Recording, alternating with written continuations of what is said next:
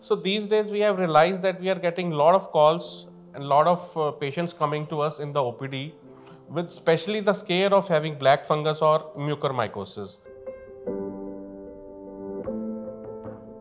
Hello friends, I am Dr. Suraj Munjal.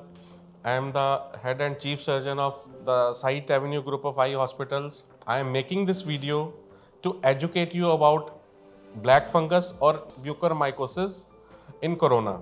See, though this is a, a very deadly condition and condition which really, uh, you know, demands uh, attention and hospitalization. So I thought that I should educate you that you should not be unnecessarily scared. And if you uh, unfortunately are going through this condition or have some symptoms related to this, should know what to do about it. So I will start with that how does this happen? See, this happens in the patients, those who have compromised immunity, especially in corona, especially uncontrolled diabetics on steroids, which increases the blood sugar levels, and steroids are most of the times needed to treat corona.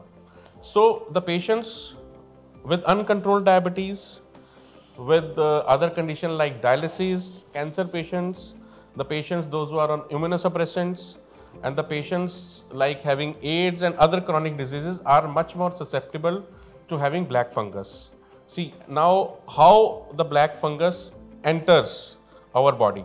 The fungus can enter our body through our mouth, our nose or even through our eyes. What are the symptoms? Symptoms can be variable symptoms. It can be the pain in the eye, the redness in the eye, watering in the eye, protrusion of the eyeball, uh, severe running nose, discoloration around the skin of the eye or the nose or discoloration around the gums or palate so these are the most common symptoms. And it can happen mostly again I stress on the immunocompromised patients undergoing corona treatment because it adds on to the decrease in your body's immunity where the black fungus which stays around us especially in the areas which are unclean or uh, damp areas from where it can attack our body. Otherwise it lives normally in the environment so why I am stressing immunocompromised patients? Because everybody doesn't need to panic. A simple watering in the eye which can be conjunctivitis which is very common these days is not black fungus. Because many of the patients because of the ongoing situation they are really worried because they cannot get out of the home. They don't want to come out for the consultation and they live in the fear of the black fungus. But it is not true. So the set of patients I have already explained you who are more susceptible to having mucormycosis. And how do we treat it now? If it is a simple watering or simple conjunctivitis, doctor will give you treatment accordingly. And if the doctor feels that you have some corona symptoms, they'll advise you RT-PCR or whatever test is required and refer you to the pulmonologist.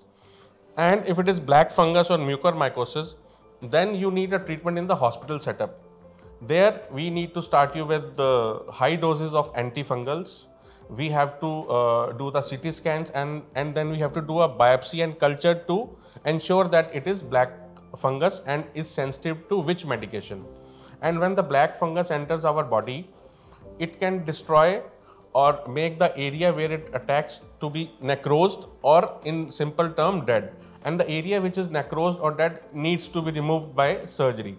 So you need a hospitalization and you need the parallel consultation by an ophthalmologist by an ENT surgeon and a neurosurgeon. So again, I insist if you have any of the symptoms like that, please contact your doctor and you really need a hospitalization. We have already started a black fungus helpline or mucormycosis helpline by our uh, hospital and you can take the number which is going below and you can contact us by phone number, by email about whatever the queries you have or you can consult by teleconsultation or you can uh, visit your nearest doctor for any help if required. We are always available for your help. I again insist, please don't panic on this and in case you have symptoms related to what I have told you, please consult your doctor. Thank you.